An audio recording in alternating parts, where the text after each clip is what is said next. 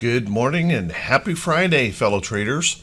This is Doug Campbell with Right Way Options, and this is the morning market prep video for December 8th, 2023. Well, yesterday we had a big surge in uh, tech giants. The Magnificent Seven did almost all of the lifting yesterday. Will they be able to keep that going today? Well, first off, let's take a look at what happened overnight. Asian markets mixed overnight. Um, Nikkei and uh, Hong Kong was just slightly down. Nikkei actually wasn't slightly down, 550 points, but um, everything else was modest gains, very modest gains. As a matter of fact, Shanghai only put in 3.3 uh, dollars in gain over there. Um, if we look at Europe, European markets are mostly green across the board. The three majors, of course, um, the DAX, the FTSE, and the CAC are green this morning, looking to uh, try and move higher after yesterday's selling. And here in the United States, we were really the only uh, major economy that showed growth yesterday, and it was all on the back of the tech giants. We have kind of a modest uh, look here this morning. Um, we've got uh, Dow and S&P 500 futures up um, and NASDAQ just slightly lower, but everything is modest um, in those moves. Oil prices this morning are higher. We have um, oil up $1.36 a barrel this morning, um, which is interesting um, simply because we continue to see that weakness, that decline in Asia. We have um, bond prices just ever so slightly, ticking higher here this morning, probably anticipation of um, the jobs numbers today. So, kind of keep an eye on that. But what does all this mean for today? Well, how about we settle in? Let's buckle up and let's get ready for the Friday edition of the Morning Market Prep video.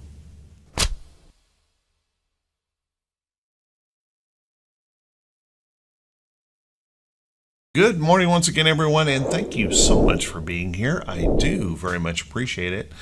Let's take a look at these charts, try to shake off a little bit of bias, and let's see if we can gain some um, um, ideas about how we might want to approach the market for today. Well, first off, one of the things that's very notable, I think, in this chart here of the diamonds is the very tight consolidation that we're seeing in here. And anytime we run a tight consolidation like that, we have a fairly strong potential in that that we could um, either make that break to the upside here at any point in time where we could pop on out. I call this a pop out of the box pattern, nice little tight pattern in here. Um, we could pop on out to the top side of that if we can find some kind of inspiration, but at the same time, we could break to the downside here as well. One of the things you want to pay attention to, if this is the upside trend, we're starting to slip beyond that trend, and one of the things we're starting to see is breadth in the market declining as well, and that gives us more of that possibility of, well, we could go either direction here. Um, let's take a look. Let's throw those drawings back on here. And if the bulls were to find inspiration today, let's take a look. We've got this resistance that comes right over here, um, all the way back here to 2021. That little peak right there, 2022, that peak right there. There was another little peak right here in 2022, and that's what set that resistance level up there. So if those bulls can find inspiration here today, then I would look for that opportunity that we could run up there and test that level in the chart. Um, every reason to believe that that's possible. Um, and if we break through there, then of course we're on our way to try and break through the uh, high, um, all-time high here in the diamonds. If the bears, however, happen to find some inspiration, I'm going to put a line right across here, and I think that's going to be the critical area of the chart. If the bears were able to push us down through there and break that um, big white candle base um, and the top of the, of the other one, I think we would come back down, and if you look right across over here, got to go all the way back over here again. There's a little tiny bit price uh, support right here in the chart that we might be able to test and bounce off of. If we're unable to bounce off of that, then I think the uh, next area is really down here around the bottom of that candle. Just kind of keep in mind, this is over a 500 point candle here. That could be a little bit painful coming back into the support area of the chart. Not saying that's going to happen, but um, you know, it's certainly a possibility. And um, let's take a look at our SPY, SPY. SPY has been locked in this range bound area of the market where we've had um, you know, big old bearish engulfing candles that get completely reversed the next day. And um, we continue to chop in this range. So far, we have not been able to break through the top side of that, break this, this uh, trend that I've got right in here. We haven't been able to break back up through that um, after sliding out from under it here um, a while ago. And we've got this resistance up here that just seems to be a little bit tenacious. We've not been able to just get right through it. We've punched up there a couple of times, banged our head against it, and then backed away. Seems to be too strong at the moment. But maybe today is the day. Maybe today we'll push on through and pop that resistance in the chart, and then we'll start pushing on up to this next resistance that I've got marked that once again goes all the way back over here, the underneath side of these um, tops here in 2022. Now, if the bears find inspiration today, then I'm going to look for that retest down here. Um, you can see, that's where we've been bouncing around in this chart. And if that uh, were to fail, then we're looking to move um, a little bit lower. And I think down in this range here in that little consolidating area might be the next area uh, lower before we come on down to the bigger support area in the chart right down in here. So watch that carefully. If we take a look at our QQQ, um, also very range bound here. Um, we had um, some uh, big bearishness showed up there a day ago, and then we just reversed it all of a sudden with uh, big tech. Google, um, AMD did some real heavy lifting um, yesterday, and then of course the majority of big tech joined in to that party, and that's where the growth was yesterday in the market. If you'll take a look here, uh, that possibility that holding this price support could provide that inspiration for us to continue to push, and maybe we can break through this area this time here in the chart. Uh, just realizing that as we break through that area, then we may be kind of stretching up to those next levels in the chart. I've marked out all-time highs, but I do think there's some areas in here in the middle that are certainly worth um, marking for potential resistance if we push on through. If the bears find inspiration, well, I think the only place we have is just to push right back down into this area of the chart. Of course, we could stop right here at the base of that candle. Um, there is some support right through here, as you can see, underneath that little support area and uh, right above this area. But um, if the bears really were to get going, I would suggest down into this area of the chart, and that failing could create some pain because we fall into this pretty substantial gap here on the QQQ if we were to fall in through there. So kind of keep that in mind if that were to occur. And then our Russell IWM um, trying to do uh, about the best of all the indexes yesterday, um, hanging in there in this consolidation pattern. And what I mean best, not the biggest move, but the best pattern here overall and showing that bullishness. And we're trying to pop up here this morning in the pre-market, as you can see on that. Now, keeping in mind, we are stuck in a range here excuse me, we are stuck in a range here as well, as you can see um, in the chart. We've got a fairly significant resistance up here, and that resistance runs back across this chart a long ways. There's a lot of evidence of price action right in there, and you can see we tested it as resistance once, backed away from it. We're going to make another attempt here, it looks like, to try and push up there and see if we can break through that area of the chart. If we can, then we're looking for that next area above for that next resistance area in the chart. If the bears were to find inspiration and push us back down, well, first thing, you know, get down through this little consolidation area and then see if we'll break into this next support. Now, keeping in mind um, what we might see here in the Russell is just simply a choppy sideways move out toward one of these trends before we make that decision on which way we're going to go. Let's taking a look at our VIX. Um, what's interesting yesterday is even with um, um, that fear that we had the day before, the VIX really didn't do much yesterday. It did move up a little bit higher, even as uh, big tech was rallying, but no real change here. Um, there's just no fear in the market at all. Bears aren't doing anything um, uh, at all. So you got to give this up to the bulls. That's all there is to it. If if the um, bulls find inspiration today, maybe we look for a retest down in here toward these lows. Now remember, we're very very complacent here. Uh, P ratios for the market are ridiculously high on the S&P 500, but um, that doesn't seem to matter right now. As long as it's something in tech or something related to AI, we're blindly buying it. Um, we don't really know what um, what the outcome of that is going to be yet, but um, certainly there is a lot of excitement and energy to buy it. If the bears were to find that inspiration, well, maybe we come up here and we test this 13 and a half handle area of the chart where we've been dealing with before and can't seem to quite get up through that area. If we take a look at our T2122, now T2122 had an interesting day yesterday. It did try to pop up at a one point in time when we gapped up yesterday morning. We were up here trying to poke right back through um, that um, bearish um, reversal zone here in the chart. But as the day went on, we kind of faded this back so, what that means is if the bulls find inspiration, we certainly have that upside opportunity. If there's something in the data today that gets the market excited, we've got room for that to go.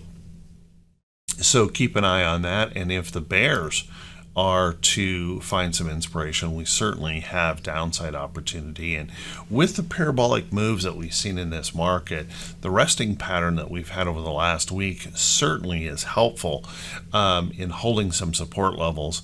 But I do believe we're probably closer to a little bit more of that um, selling or buying relief pullback or um, uh, maybe even a longer term protracted consolidation in the market from this extension away from our moving averages and technicals in the charts. Let's take a look at our T2108. Now, T2108, as you can see, ended up the day just ever so slightly moving up. Just just really couldn't get a whole lot going yesterday. Um, at some points in the day, it was looking a little bit lower, just back and forth in here. 68% of the stocks, uh, remember anything up here in between 65, 75, we become very, very frothy um, in the market, and we're looking for that pullback to occur at any time. One of the things that um, you have to look at though is there's no evidence yet that we're ready to pull back, and even if we do um, catch a little pullback, we've got some support levels right through here, um, support levels right through here that could certainly catch us if we do pull back. So I don't think I would be too worried about it, and um, right now there's no evidence that they're ready to do that just yet. Uh, T2107, uh, very much the same. Ended up turning up right at the end of the day, trying to pick up. Obviously, our trend is still bullish in here, up here above, um, you know, 48%. We've got um, that 50% area where we have failed there, that might become a little bit of a resistance area as we try to push back up. We've got this downtrend in here that we also want to be thinking about as we push back up. But if we pull back, just kind of keep in mind we've got some good support areas in here. And at the moment, T2107 isn't giving us any evidence that that's going to occur except that extreme extension in the market. And then if we look at our uh, T2101, well, T2101 showed us that little bit of a problem that we had yesterday and that is that little decline in breadth of the market, showing that we might be running out of some of that energy. And then just keeping in mind, we are moving into the blackout period of um, corporate buybacks, and that on its own because the corporate buybacks have been massive this quarter that um, just those corporate buybacks um, halting um, alone may have that breadth declining. Now, keep in mind, corporate buybacks aren't going to stop all on one single day. It phases in over a period of time as we head toward those um, next quarter earnings. So, keeping in mind that that will slowly fade out here in the market and we might see that breadth pulling back because it is a big part of the movement of the market here lately. Let's take a look at our um, earnings calendar here for today. Now, our earnings calendar, we don't have much to worry about today. Um, we've only got two verified reports and really only one that would be particularly notable. First, um, JOUT is on the list. Um, obviously, uh, getting a hit lower here in the pre-market on its earnings, but the reason it's not particularly notable is that it it, it never even gets up here into uh, you know a reasonable volume, trading somewhere around um, 50,000 shares on a daily basis is not um, something that would be particularly notable. But then um, um the notable one for today is Momo. Momo picking up here. We've got um, um, a lot more volume in this. Uh, big pop here in the pre-market. Kind of keep in mind all this resistance. We're trying to decide this is going to be the bottom for Momo or not. So watch that one close. Then let's take a look um, at our earnings calendar here for today, our, or excuse me, our economic calendar here for today. What we've been talking about this morning about the data that is coming, of course, is going to be the employment situation number. Right now, consensus is suggesting that we're going to have 180,000 um, non-farm payroll jobs coming in, which is a growth over the prior. Now, remember, we've been seeing a little bit of data that's suggesting that job growth could be slowing down. I don't know if this report's going to start showing us that increase here or not, but we'll want to watch uh, that number here. Looking for 150,000 in private payrolls, um, overall uh, participation rate of 62.8, which they're looking at that increasing. Um, I think that might be an interesting one to pay attention today because I think there's a chance we're going to start seeing participation rate going the other direction. I could be wrong, but watch that. And then, of course, this is going to be an important one 34.3, um, looking for um, average work week staying the same. Remember, one of the things, instead of laying off, companies will do is they'll say, well, we'll cut your hours, you can keep your benefits, kind of a thing. We might start seeing this tick lower as well as that hint of a bigger problem coming in the jobs market as our economy slows. So watch carefully for those numbers today. And then we've got consumer sentiment in here. Uh, they're expecting consumer sentiment to improve um, just a little bit to 61.9. What's interesting is um, inflation expectations they're suggesting by the consumers are falling to 4.2 percent. Um, and then we've got a Baker Hughes rig count, which nobody's going to care about on the day. So I think the big question for us is can we hold this momentum into the close of this week? Can we hold that upside move? Into the end of this week, or will we start to see that fade? Um, we've the last couple of days we've tried to pop, we've tried to engineer a big upside move in the market, in the pre-market, and then just see it kind of fade back as the day goes on. Um, we may be losing that upside energy here, and that pullback could begin at any time. Can't say it's going to be today. Maybe it's um, um next week, and maybe we go on higher before we do that. Maybe we just kind of exhaust that move to the upside before we reverse and turn back around. So be really, really careful in your trading not to over trade the long side here. Um, I think a pullback could occur uh, at any time. So just be prepared for that and uh, make sure to raise those stop losses. Um, be a little bit careful on those knee jerk reaction trades like the last couple of days. I know a lot of folks probably got stuck into those knee jerk reaction trades, jumping in first thing in the morning, then having the market fade back. So be really careful. Let's take a look at some stocks that could be setting up for today. But before we do that, everyone, if this is the first time you've seen these videos, if you could please click that subscribe button on YouTube. Also, click that bell icon when it pops up so you'll be notified every time I post a video. And if you find these videos to be useful or helpful, if you could do me that favor, click that thumbs up button leave a brief comment, put an emoji on it, it doesn't matter. Engagement with the video helps just about as much as anything to help the, the channel to grow. The YouTube um, algorithm figures that if folks are um, responding and engaging with the video, then they should show that video to more folks. So thank you so much for everyone who takes the time to do that. I do truly appreciate it. Looking at stocks that could be setting up, remember everyone, these are not recommendations to buy or sell any security. You've got to do your own due diligence never ever blindly follow anyone else's trade ideas. Follow your trading plan, your trading um, risk tolerances before you pick uh, up on any position. Let me talk about a little bit what's going on here with the dollar. This is going to be very critical, I think, to how the market's going to perform um, here in the near future is how that dollar continues to respond. We've got this little bit of a downtrend starting up um, here in the dollar. We've been pushing lower, and as the dollar pushes lower, remember bond yields fall, bonds prices go higher. So you'll want to keep an eye on that. If this continues to drift lower here in the market, then I would look for those bond um, prices to move up and those yields to continue to decline. Breaking some support levels in here could be really critical uh, for the dollar or UUP here, as I'm using as a representation of the dollar. So watch that carefully. Um, take a look at uh, gold.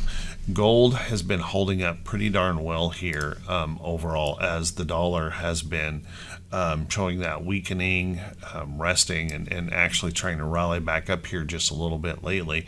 So watch this carefully in here, this nice little trend happening in gold. Now what's important here is if gold starts really pushing here to the upside, I want you to notice there is a major top up here in gold. It is a substantial top. You can see we have tempted several times for gold to break through here. If the dollar falls hard, and I think there is a potential that we're going to continue to see that dollar weakening, then watch this here. We could see some record highs coming in gold prices.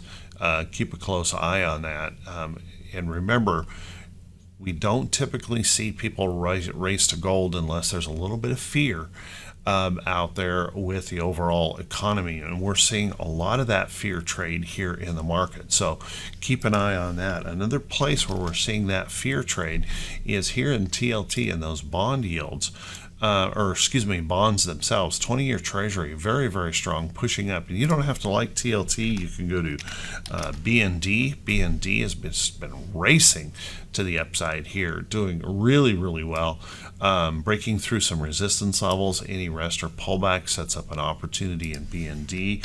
Uh, junk bonds have been racing to the upside. There's a lot of places you can go on this, and you'd see that something significant has changed here. And if the dollar continues to weaken, these are going to continue to grow.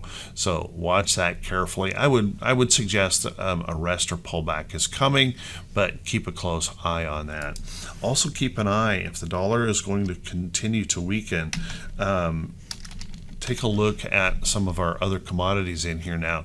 Um, Steel Dynamics broke through this major resistance area here in the chart, pushed up really hard and fast, broke through another area. Now it's pulling back pretty sharply, but watch this area in here. We might catch a little bit of price support, and that may actually hold in here. Keep an eye on um, Steel Dynamics. Um, Cleveland Cliffs has also been pulling back rather sharply after breaking through some resistance here in the chart. But you'll notice that we've got some nice support right in here. And as this pulls back, we may just find that support in here as a little bit of rest and then move on through to the upside following the trend. So keep a cl close eye on some of those commodities out there in the market. Other things to maybe be paying attention to, another commodity would be those um, areas of the chart in uranium. My goodness, uranium has been amazing this year, continuing to um, um, to show lots and lots of strength. This week we've been pulling them back here a little bit, resting a little bit in that chart, but we're well above a nice support level in, the, in this area. Watch that area in here. UEC would definitely be another one to be paying attention to. That's been holding in this nice steady upside trend in the chart looking good. Other areas of the market, you might want to be taking a look at old 3M. Old boring company breaking through this big downtrend here in the chart. It's been very, very oversold, been moving up nicely in this consistent manner. Um, watch this little consolidating move in here. I think there is that opportunity. 3M could get something going here eventually. Might need a little bit more rest. And of course, if the overall market does pull back, I would expect a lot of these stocks kind of get drawn into that pullback, at least a, a, um, a, a, substantial consolidation could come into play. But that doesn't mean that we shouldn't be keeping an eye on this. Um, I think we should also be keeping an eye on Coca Cola.